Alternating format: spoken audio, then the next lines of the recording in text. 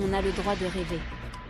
Après la nomination de Thierry Henry à la tête de l'équipe de France Espoir, la rubrique Média de l'équipe propose quatre anciens internationaux français pour le rôle de consultant vedette de Prime Vidéo dans l'Hexagone.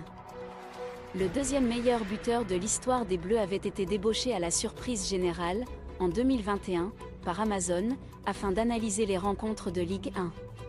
Il était jusque-là consultant TV seulement depuis l'Angleterre.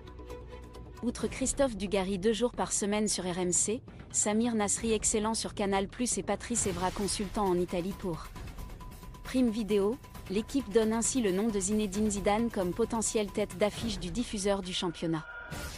Entraîneur triple vainqueur de la Ligue des Champions avec le Real Madrid, le Ballon d'Or 98 ferait un expert de qualité, même s'il était un peu discret dans cette fonction sur Canal+, juste après sa retraite de footballeur. Depuis son départ du Real en mai 2021, Zizou n'a pas trouvé de nouveaux défis alors qu'il est motivé à l'idée de diriger à nouveau. La légende du football tricolore a attendu.